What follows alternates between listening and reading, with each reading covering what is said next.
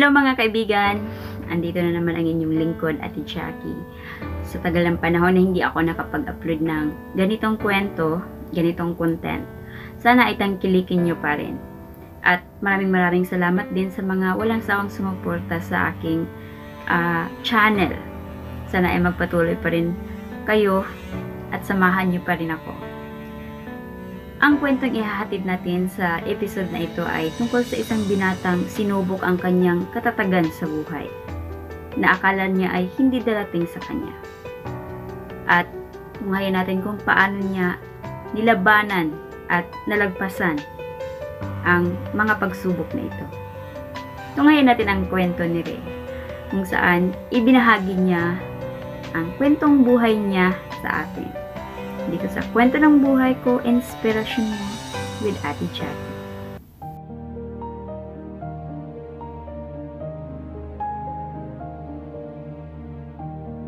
At doon, isinagawa ang aking surgery, Ate Jackie.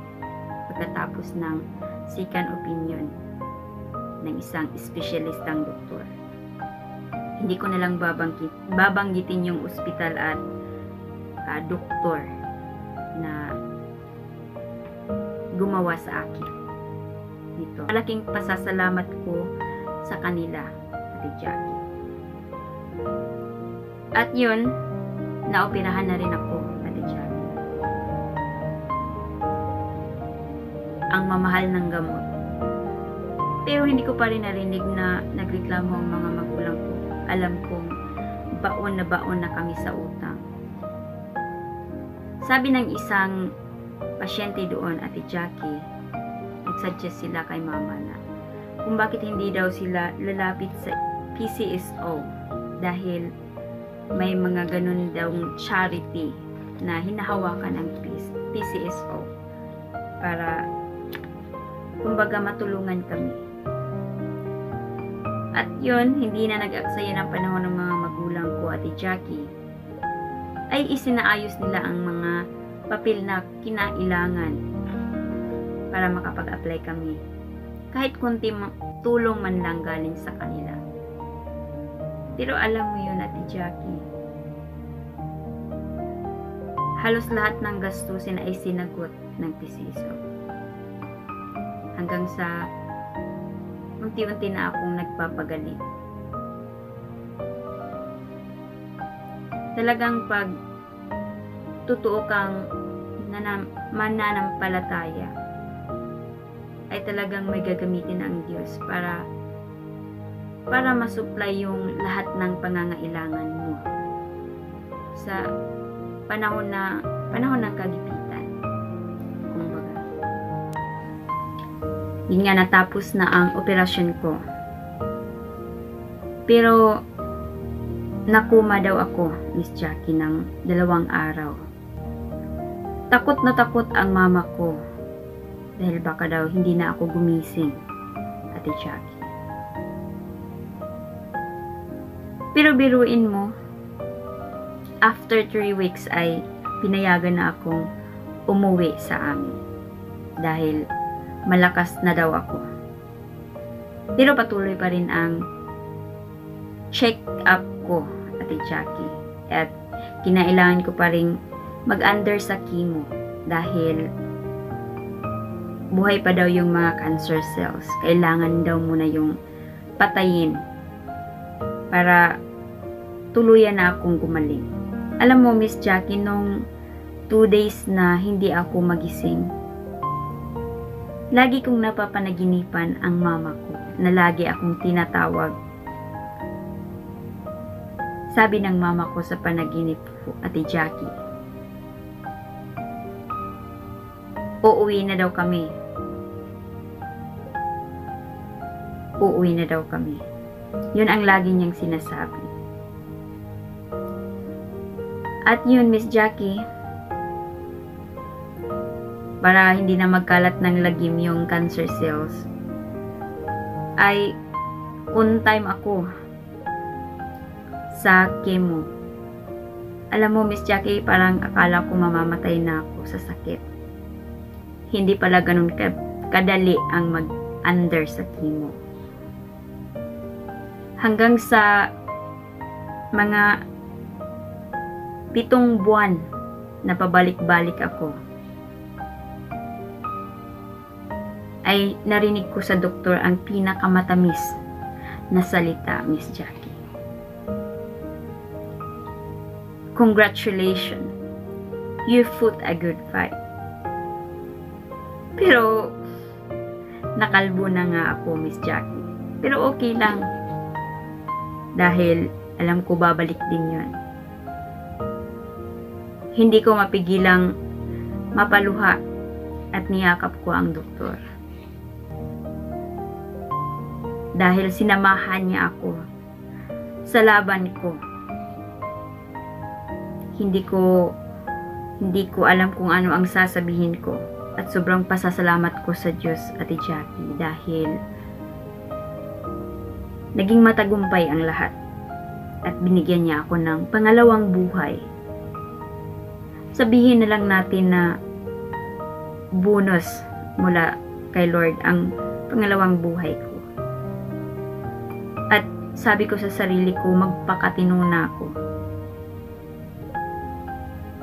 at hindi hindi ko sasayangin ang panahon na ibinigay ni Lord sa akin sa pagkakataong ito.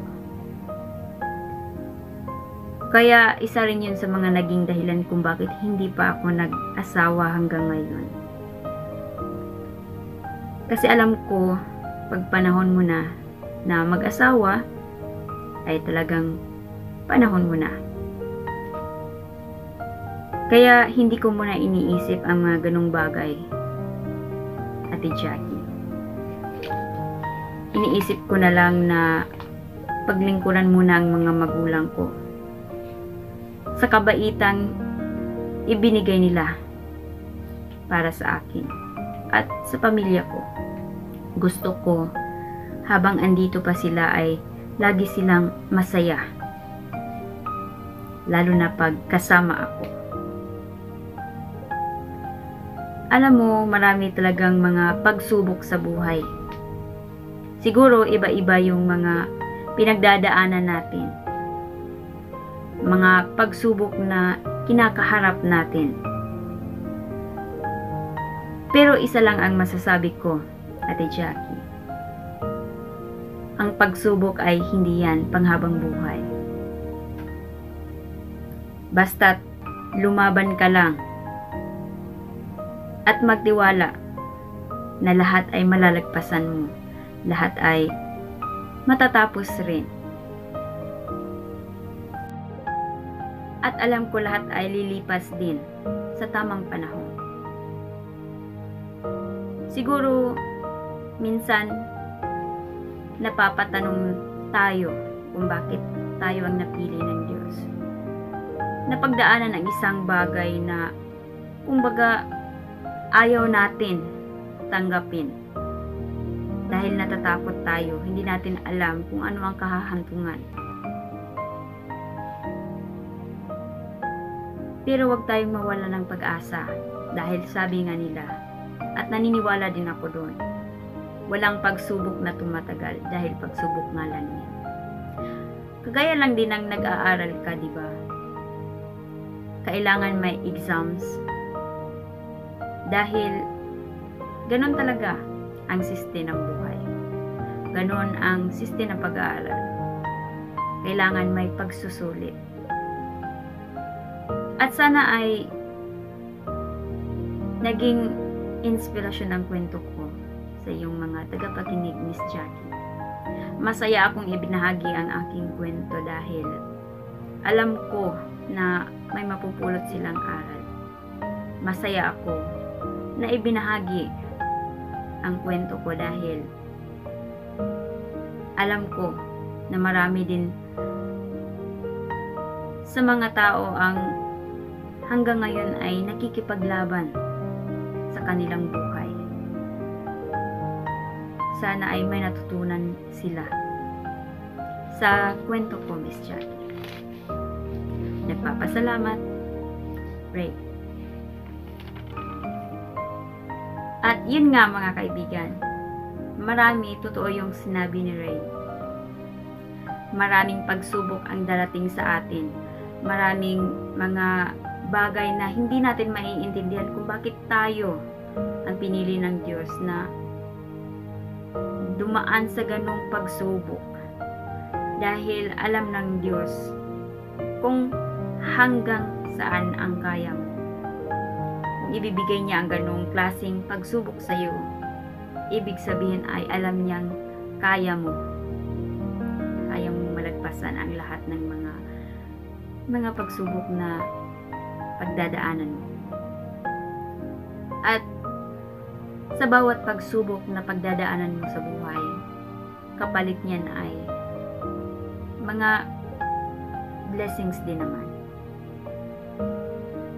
Sana ay may natutunan kayo sa kwento ni Ray mga kaibigan na huwag tayong maging kumbaga maramot sa maraming bagay. Huwag tayong maging ah, kumbaga sabihin natin ah ayoko niyan bakit kailangan kong pagdaanan yan marami tayong we are always murmuring on something but we never think to to proceed and fight for something.